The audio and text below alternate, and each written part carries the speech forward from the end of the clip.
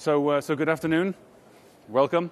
Um, I'm Andrew Chapman. I'm, um, I head up a couple of the groups in the, in the mainframe group at, at CA. Um, one of them is storage. I'm not going to be talking about that today.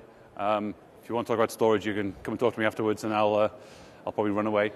Um, I also run the, uh, effectively the non-ZOS products um, on, on the mainframe. So VSE, ZVM, uh, and Linux. And I'm going to be talking about that side of the business, the, the Linux side of the business, um, for, for 30 minutes today. So uh, I thought this was very clever. I'm using uh, weather metaphors to talk about the cloud. Um, but then I think a lot of things I do are very clever. Unfortunately, I'm in a, a minority of one typically. But um, so we're going to be talking about the cloud very briefly, just on a slide or two, talking about how the mainframe and the cloud play together today, so what we see today, what we, or where we want to see and where we think we're going to see the mainframe and the cloud come together uh, a, a little bit more, and then talk about why it hasn't happened already and what we can do to, to encourage that, uh, that transition and bringing together the mainframe and the cloud.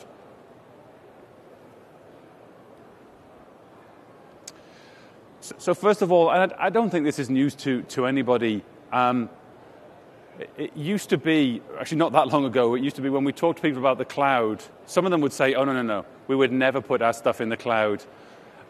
Then, even just within the last year or so, you know, it, it transitioned to yet. We, will never put our stuff in the cloud yet. Pe- people realize it's inevitable. And, and, you know, now we look at it and don't get me wrong, there are, there are workloads and, and, and, payloads that people will not put in the cloud at this point and may never put in the cloud. But, but it, it really has become part of everybody's infrastructure in an incredibly short amount of time. And, and some of these things from the bottom, which were just you know, screenshots taken out of, uh, out of news reports, show that you know, even agencies in, within the government that you would think would be very risk averse realize that the cloud is not actually as big a risk as, as, as we at first thought. And certainly, a, lot of those questions that people had initially about security have, have gone away, and, and, the cloud is, is seen now as being a, a major part of people's environment.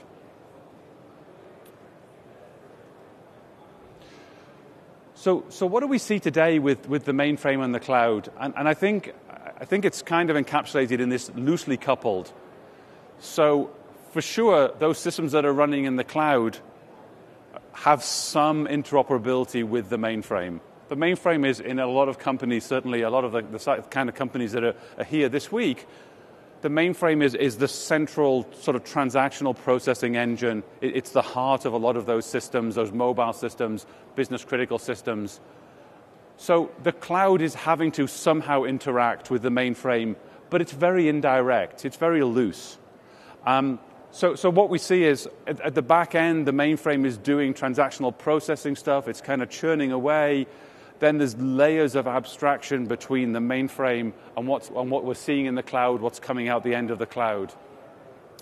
Another approach we see actually quite frequently uh, is, is, that people will do ETL. ETL is extract, transform, and load. So, so I'll, I'll perhaps take a, um, some database data, I'll print it to XML, you know, so I basically sort of denormalize that content, put it out into some kind of file format, push it out through a firewall onto the cloud, and then it's consumed on the cloud. We see people replicating data sets out onto the cloud so they can be processed on the cloud. So that kind of indirect, loosely coupled approach. Certainly, uh, if you, if, you go to a, if you go to a cloud conference, no one's talking about the mainframe. If you talk to a customer about the cloud, they're not thinking about the mainframe. The mainframe is some part of the infrastructure almost as far away from the cloud as, as it can get. That's generally the mentality. It's not to say that the mainframe team don't see the value of the cloud. Every time we talk to customers about, about the cloud, mainframe customers about the cloud, they get it. They understand, they understand it's coming.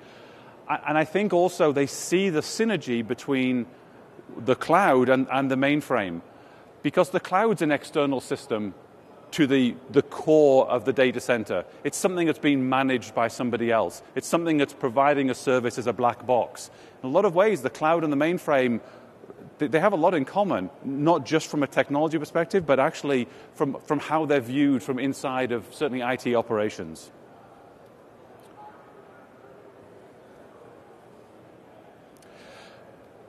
So, what's, what's the vision and, and, and where do we need to get to I, I mean, it's, it's, probably not really rocket science. The, the cloud, I would say actually, even though I wrote this, I would say, you know, I've got my tense wrong. The cloud has moved from being a science project, being something that people used as, as shadow IT, to being a core part of many companies' infrastructure.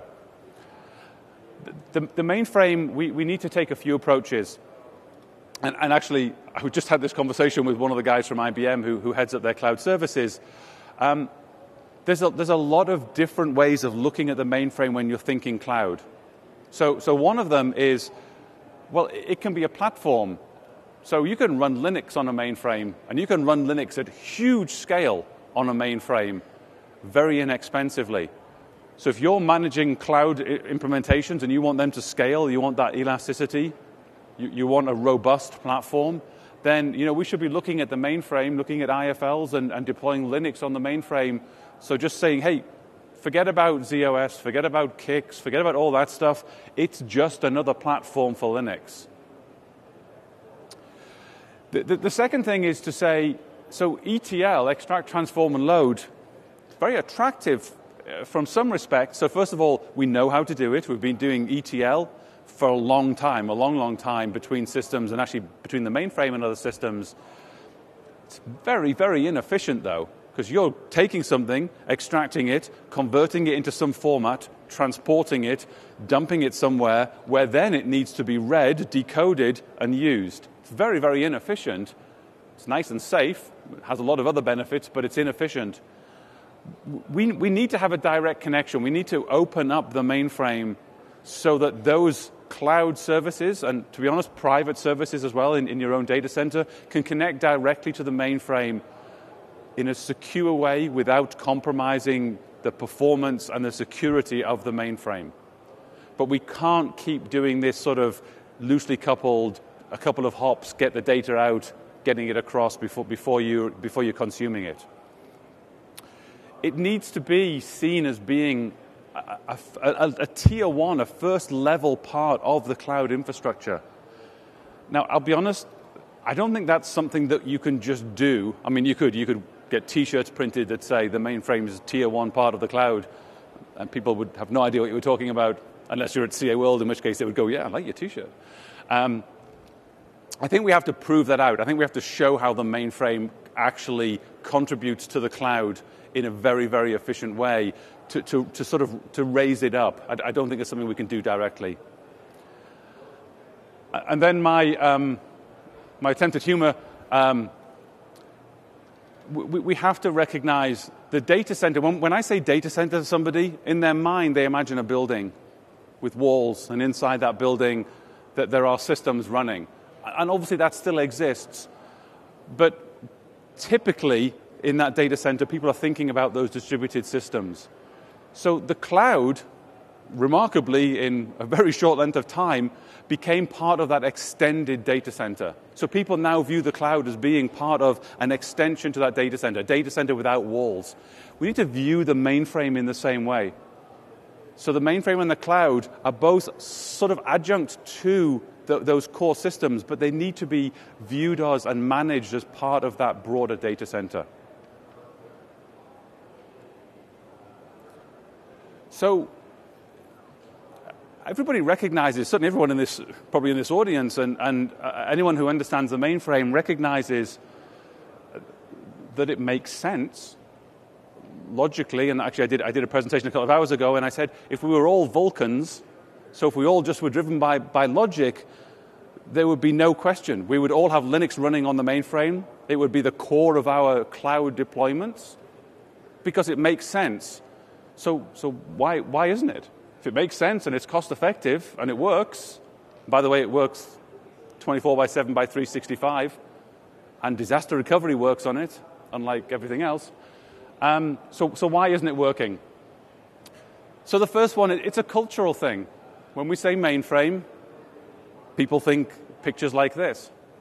People are proud to say, oh yeah, you know, I remember when the world was black and white and I worked on a mainframe, you know, it was great. So culturally, people, and the cloud, of course, the cloud is, is, is well, whoops. The cloud's fluffy. I mean, it's got to be, it's, it's, a, fluffy thing. It's, it's new and, and it's, I mean, it's, it's a cloud. So it's the most modern thing you could ever imagine.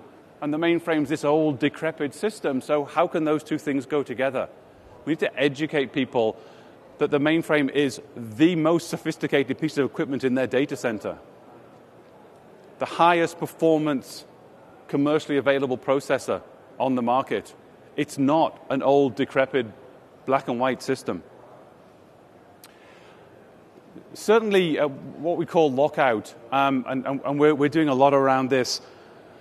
We have to make it easier to access those services that are running on the mainframe from uh, not just the cloud, but from all systems in a way that's controlled and secure and high performance. Okay? It, you, it can't be that you have to bring in some kind of mainframe specialist to be able to make that connection. We have to open up those systems. So we, we, we, do need things like OpenStack. We need a way of being able to communicate directly into a mainframe without having to understand the intricacies of the mainframe. Otherwise, we're constantly going to have to go back to specialist resources, and people just won't bother. They, they know how to do it the other way, they'll do it the other way. So it's kind of hard. I, I, I read what I wrote here General IT staff don't understand the mainframe. I, I, wish I hadn't written it like that. That kind of blames the IT staff. It's not the IT staff's fault. The mainframe's different. And we celebrate that difference because, in some ways, that difference is, is absolutely fantastic. It's what makes the mainframe the mainframe. But to the general IT staff, it's different. It's not their fault. We need to make it so it's not as different. Okay? We need to make it so that within reason, they, they know how to talk about a mainframe. They understand these things. It's not simple. We, we had a, a, a just, I'll digress. We, we, we were working um, on, on the Nimsoft integration into ZVM. Um, you, can view it here. And an interesting thing came up. If, if you're running VMware, so on distributed, you're running VMware and you're running Linux. If your VMware instance is running, or your system is running over 40% CPU utilization under VMware, then you probably want someone to go and take a look at that system. That, that would be getting towards not the top of that threshold, but certainly that's a very busy system under VMware. If it was running at 80%, you, you probably want to start panicking at that point under VMware. If you're running Linux under ZVM and it's running at 80%, you should probably go and slap one of your system administrators for only running at 80%. So if I implement monitoring across Linux on Z and Linux on, on VMware, how do I represent that data to, to my IT operations guy? I've got two systems. One's running at 90% and one's running at 50. One of those systems is about to fail, and it's not the 90% one. I mean, so even these things that are, that, that I mean, you know, maybe we just half, just divide everything by point, by, by two, and I don't know, that's probably not a good idea. Don't, don't do that. Um, but we have to think these things through. We have to come up with some way. It's not just a matter of us not calling things, don't call disk space DASD. It's not just a matter of, of sort of nomenclature. The thing works differently, and we need to, we need to address that. So, support. Um, so, I'm thinking here about things like Linux and applications that run under Linux. Um, not everything, not all commercially available software is, is, is, actually supported on Linux on Z. It might run, but it might not be supported by the vendor.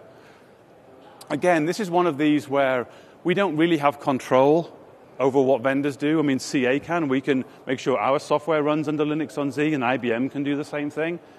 We don't really have direct control over some of the other vendors. But if we can create a market, if, if the customers at CA World double their use of Linux on Z, I, I guarantee you th- those vendors would start to, to pay attention, would start to certify their software. It's only about whether or not there's a market for that, that platform. That's really what makes the difference. So, so what can we do? Um, we collectively, uh, uh you know, CA as a vendor as, as well as customers. Um, so the, the, first one, and it sounds a bit cheesy, actually it is a bit cheesy, but um, also sounds a bit cheesy. We, we should talk about this as much as we can. So I think in every presentation I've done since I joined CA, I, I mention this. So if you've heard this before, I apologize. Two years ago, when I joined CA, I, I came from EMC and I used to run Linux systems for EMC. We used to run our own software in the cloud and provide that as a service to customers. So we ran Linux at huge scale. EMC owns mainframes. They make mainframe storage. So we had a data center with mainframes in it, and we were running Linux at scale. I didn't know you could run Linux on a mainframe. I certainly didn't know it would have been a really good platform to have deployed the kind of stuff we were deploying at scale, and it absolutely would have been. Uh, and we were trying to guarantee our customers five nines of uptime, which was actually incredibly difficult for us to do at scale. If we deployed on a mainframe, not so much. So we need to, we need to talk about it. We need to get those success stories out there. We, we need to share that with, with the general community as much as we can we need to make it open. Um, I would say the one thing that will make us fail is if it's not open. If people cannot connect to the mainframe, when people are deploying systems at the scale they're deploying today, they will give up. They'll try once or twice. When someone starts talking about interfaces they don't understand, or if they have questions around security, or if it just looks so different, they'll, they'll, they'll give up. I mean, they, they can't just keep trying. So I think the, making it open is, is actually a very, very key part of this. Um, education. I, I was talking to a customer, one of the insurance companies, and one of the things that they did around Linux was they actually spent some time and, and, and money putting together training materials and training their own IT department. They had brown bag lunches and they, they got these guys together and they they actually spent time educating the rest of IT to understand what the mainframe was generally, what the main, in this case specifically, what the mainframe meant as a platform for Linux. And it was incredibly successful. They, they then got customers, internal customers, coming to them and asking them to, to use Linux on Z. Not that big a deal to do, but, but an investment in, in sort of internal education. And then encourage vendors. So if you have a vendor and you, know, and you would like to deploy their software, software on Linux on Z, first thing to do is to ask them. Explain to them why you want to do it. If enough customers ask them to do it, they will do it. There's no technical reason that they can't support Linux on Z. It's simply that they start at the top of, okay, 50% of our customers are running Linux on X, 20% are running it on whatever, power. And when they get down to the bottom and there's only 5% of them running it on Z, that's, that's where it ends up. It ends up at the bottom. So, um, so what are we doing? We, we have spent a, actually a lot of time, um, we've spent a lot of time talking to our customers, we've spent a lot of time analyzing the market, talking to our partners, talking to IBM. And what we've really discovered is that there are two things stopping Linux being successful there are barriers to adoption. These are excuses that are used to not deploy Linux on Z. They might be valid excuses, but they're excuses not to do it. Oh, the software is not validated, the, the pricing model doesn't make sense, etc., etc. And then there are compelling reasons to do it. They sound like two sides of the same coin, but they're actually slightly different. So, compelling reasons come from things like dis- disaster recovery, from uptime, from the cost model. But there's still these barriers to adoption. And, and here's how the conversation goes the mainframe guy goes and says, I want to deploy this application on, on Linux on Z. It's going to make sense. I'm going to save $100,000 this year if I can do this. That's a compelling reason. But then enterprise IT turns around and says, well, you, you, that's great, and you would save some money, and, and we understand it's a great platform, but we need to run virus protection, a corporate policy, we need virus protection on that, on that instance, or it doesn't fit into our unified monitoring solution.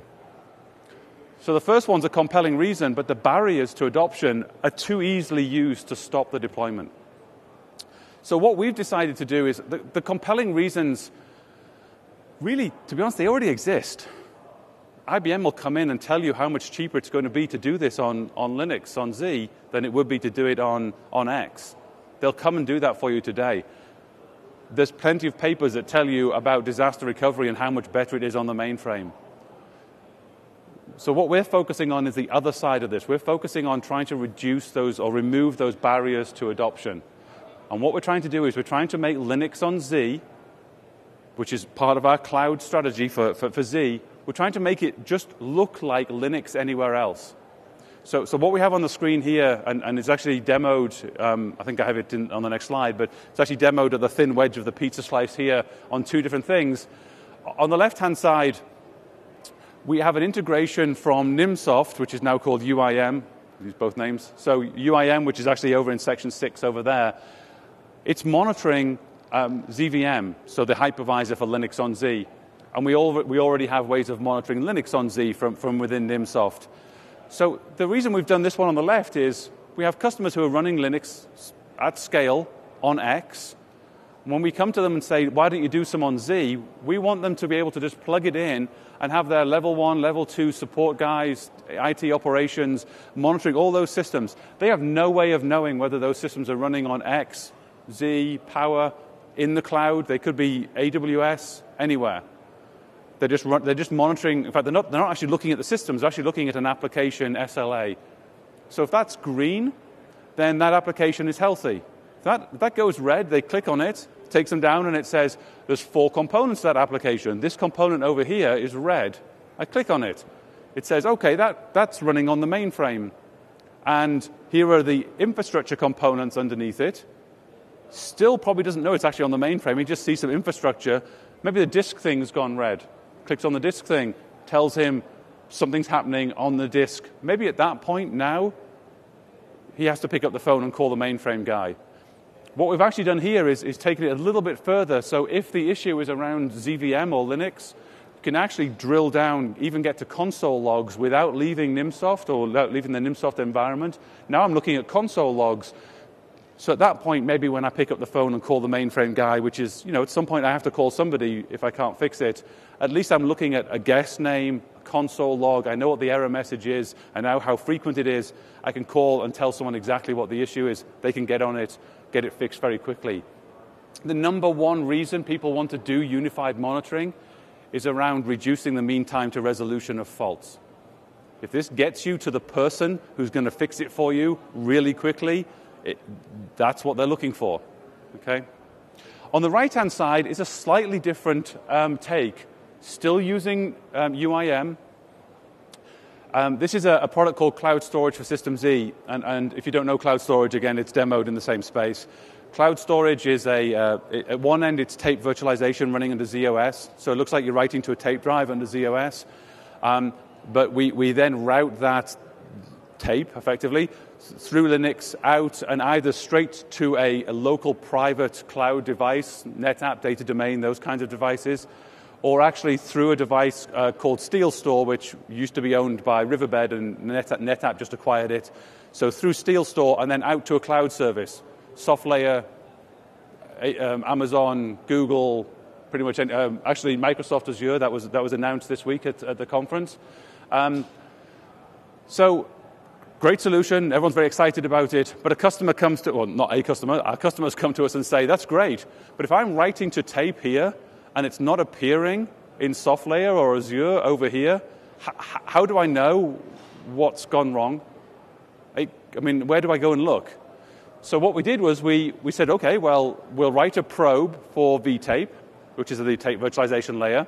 We already have probes for ZVM and, and Linux under Z, there's already probes for things like Nimsoft, uh, sorry, Nimsoft, things like NetApp, Data Domain, Steel, uh, SteelStore, out to SoftLayer, etc. So what we did was we put together on the right-hand side an end-to-end view of the components of an application. In this case, the application is cloud storage. So we can drill into this one thing. We can have a single tile that represents it. If it's green, it's fine. If it goes red, you click on it. It's going to take you in. It's going to show you all the components, the architecture of that application.